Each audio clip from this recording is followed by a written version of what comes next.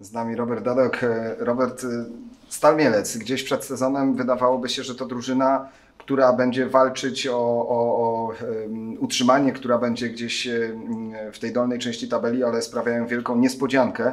E, no, wygrywają niemal wszystko. My też mamy dobrą pasę, no bo dwa mecze wygrane. Jak Twoim zdaniem będzie wyglądał ten mecz? Stal będzie się bronić, czy, czy to będzie taki mecz walki, mecz, który będzie atrakcyjny dla oka? No, atrakcyjny mam nadzieję, że będzie, ale, ale tak naprawdę nie to jest najważniejsze. No, najważniejsze jest to, żebyśmy ten mecz wygrali nawet 1-0 i, i, i żeby dopisać sobie po prostu kolejne 3 punkty, wtedy będziemy mieli już 9 i, i, i to będzie naprawdę super wyglądało.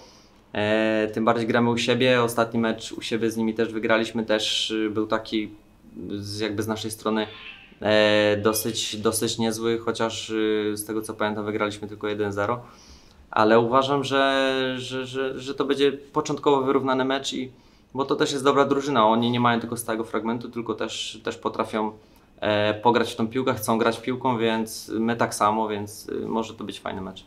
Znasz Mielec, grałeś tam. Zresztą panowie redaktorowie z, z innej telewizji spytali Cię o to, czy dla Ciebie to jest niespodzianką, jak Stal rozpoczęła ten sezon. No, wygrała z, wydawało się, bardzo mocną Krakowią bez większych problemów. No, wszyscy skazywali ich gdzieś tam na, na tą porażkę. Mm, tak naprawdę dużo ludzi mówiło, że a dużo zmian, ale to jest też tak, że tak naprawdę no, nikt nie mógł ocenić ich, jak oni będą wyglądali na początku sezonu. Widać ewidentnie, że te transfery, które zrobili i tą dużą zmianę w składzie, wyszła im na dobre i, i, i na pewno jest to dobra drużyna, ciekawa. Jest, jest też kilku liderów, którzy tam ciągną, e, ciągną ten wózek i, mm, i na pewno, na pewno ciężko powiedzieć, czy to jest zaskoczenie, po prostu dlatego, że no, nikt nie wiedział, jak to zaskoczy, a zaskoczyło fajnie i, e, i dobrze, bo, bo, bo gramy z dobrą drużyną i, i, i gdzieś tam będzie, będzie znowu o tym troszkę głośniej, jak wygramy z nim. Oczywiście i tego Wam i nam wszystkim życzymy tego zwycięstwa ze Stalą.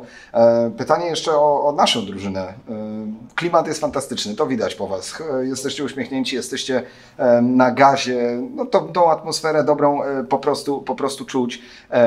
Czy to przekłada się też, czy, czy czujecie, że właśnie ten, ten, taki, ten taki power, czy to przekłada się bezpośrednio na mecze?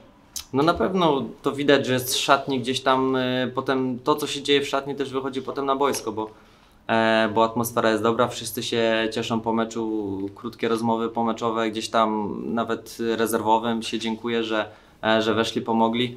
E, my też cieszymy się, że, że pierwszy skład tak, tak dobrze wyglądał i, i, i o to chodzi. Jesteśmy jedną drużyną i, i, i, walczymy do tego, żeby, żeby po prostu co tydzień się tak cieszyć, bo to, bo to napędza i, i w takiej atmosferze się dużo łatwiej pracuje. Robert Dadok jest nadal wahadłowym, czy jest już napastnikiem?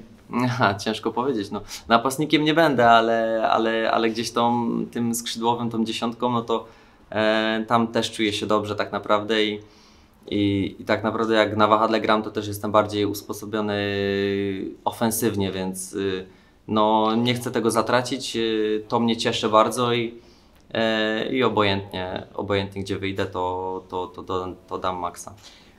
Na wielu pozycjach w naszej drużynie wytworzyła się taka fajna sportowa rywalizacja. No jest ta ławka szersza e, i widać, widać, że no właśnie o te pozycje, o te pozycje walczycie. To motywuje?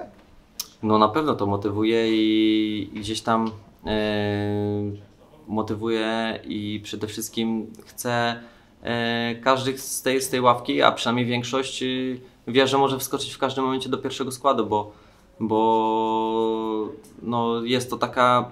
W piłce jest bardzo cienka granica między tym, kto gra w pierwszym składzie, a siedzi na ławce i, i, też to czujemy.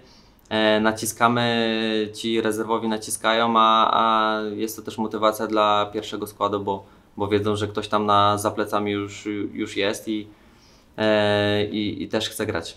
O tym mówimy zawsze. To wiemy, że trójkolorowi kibice są najlepsi. Nie ma, nie ma dla nich żadnego e, porównania. Zresztą atmosfera na Rakowie była fantastyczna. Gdybym mógł Cię poprosić o takie skierowany apel do kibiców, o skierowane do nich wprost słowa, żeby ta atmosfera teraz w sobotę była taka sama, albo może jeszcze lepsza, bo mamy jeszcze rekordy frekwencyjne do pobicia. Przecież 16 tysięcy to nie komplet naszego stadionu. No ja liczę na to, że, że przyjdzie znowu więcej kibiców i znowu pokażemy siłę tutaj w Zabrzu.